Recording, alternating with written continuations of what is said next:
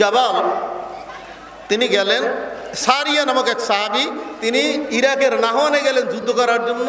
যুদ্ধ করতেছেন করতেছেন এমন সময় জুমার দিন অমিরুল মুমিনিন, তিনি জুমার মঞ্চে বসে তিনি খুতবা দিয়েছেন। খুতবার ভিতর বলছেন, ইয়া সারিয়া, আল জাবাল আল জাবাল আল জাবাল।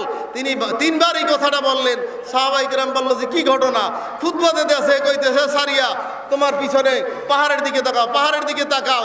অথচ সারিয়ে গেছে এখান থেকে এগারোশো মাইল দূরে ইরাকের নাহওয়ানে যুদ্ধ করতে। ঘটনাটা কি? নামাজ যখন শেষ হয়ে গেল, আমিরুল মুমিনের কাছে জিজ্ঞেস করলেন, হুজুর, বিষয়টা কি বুঝলাম না? কইল যে, এই ঘটনা পিছন থেকে একদল শত্রু বাহিনী পাহাড়ের পাদদেশে পাহাড়ে যুদ্ধ করে পারা যায় না। সেখানে আশেপাশে পালাই থেকে তারা। বানকারের ভিতরে, বিভিন্ন গুহার ভিতরে। তাহলে আমি একটু সারিয়েকে লক্ষ্য করে বলে দিলাম যে পিছনের দিকে তাকাইয়া শত্রুর থেকে নিজেদেরকে হেফাজত করলেন। সাহাবিরে কেউ কেউ মনে করলেন, তাহলে একটু আসার পরে জিজ্ঞেস করি, বিষয়টা একটু আরও মনের একটু আনন্দ উপভোগ করার জন্য। তারা জিজ্ঞেস করলেন যে, সারিয়া, এই জুমার দিন শুক্রবার তুমি এই দেড়টার সময় কোথায় ছিলা? দেড়টার কথা হাদিসে নাই, অর্থাৎ এই সময়টা তুমি কোথায় ছিলা? তিনি বললেন যে, আমরা পাহাড় দিয়ে হেঁটে যাচ্ছি, একদল শত্রু পিছনে ছিল, আমরা দেখি নাই।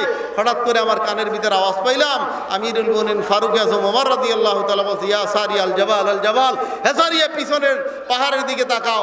আমি তাকাই দেখলাম, শত্রু থেকে নিজেদেরকে হেফাজত করলাম। জোরে বলল সোহান আল্লাহ তাহলে সাড়ে এগারোশো মাইল দূরে সেটা যদি দেখতে পারে, তাহলে আল্লাহর অলিদের ফেরাসাত তাদের দৃষ্টি আছে না নাই?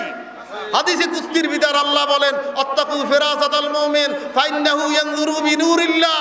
আল্লাহর অলিদের দূরদর্শিতাকে তোমরা ভয় করো তারা তোমার আমার মতো সাধারণ চক্ষু দ্বারা তাকায় না। আমি বলতেছিলাম আজকে মাদ্রাসার থেকে আসার সময় যে মাদারীপুরের নূর ফকিরের হজরত আল্লাহ নূর মোহাম্মদ রহমতুল্লাহ কেমন আল্লাহর অলি ছিলেন তিনি পাঁচ দিন মাহফেল দিতেন। পাঁচ দিন মাহফেলের পর কইতেন কি "এ, আরও দুই দিন মাহফেল হইবে সাত দিন মাহফেল হইবে। আমাকে চেয়ারম্যানের বাবা রাজু হরদার কয় হুজুর আমার একটু বাড়ি যাওয়া লাগে। এ, পথে অ্যাক্সিডেন্ট করে মারা যাবে। হুজুরের কথা এরকম ছিল, পথে অ্যাক্সিডেন্ট করে মারা যাবি। এক পাও সামনে বার হই না। তাদের ফেরাসাত ছিল, তাদের শক্তি ছিল, তাদের ইমানি কুকুর ছিল। এই জন্য তারা কথাও বলছে যেমন, প্রত্যেকটা কথার তাসিরও তেমন ছিল। এটা তার কথা না, আমার কথা না। হাদিসে কুচ্ছি বোখারি শরীফে আল্লাহ রহ- স্বয়ং নিজে বলছেন, অত্তাকু ফেরাসাত আল মোমেন। আল্লাহর অলিদের ফেরাসাত তাদের দূরদর্শী থেকে তোমরা ভয় করো। আর আল্লাহর অলিদের সোহবাত এখতিয়ার করো। কারণ অকুনুমা সাদেকিন, নেককার পরেজগার আল্লাহর অলিদের সোহবাতে থাকো। নবীর সোহবাতে থাকার কারণে সাহাবি মর্যাদা পেয়েছে, সাধারণ মানুষ পর্যন্ত। আর অলিদের সোহবাতে থাকার কারণে তারা অলি হয়। এই জন্য এক কবি বলছেন, হেদায়ত না কেতাব উসে, না কলেজ দিন পয়দা হতি হয় মাগার বুজুর্গ কি নসরছে কিতাব দিয়ে বড় আলেম হইয়া আল্লাহকে পাওয়া যায় না। আল্লাহর অলিদের সোবাত এখতিয়ার করার কারণে আল্লাহকে পাওয়া যায়। আল্লাহ আমাদের সকলকে, আল্লাহর অলিদের সোহবাতে এসে আমাদের জীবনকে ধন্য করার তৌফিক দান করুন। আমিন। আখির দাওয়ান আলহামদুলিল্লাহ রবিল আলমিন। আসসালামু আলাইকুম রহমতুল্লাহ ওবরাকাত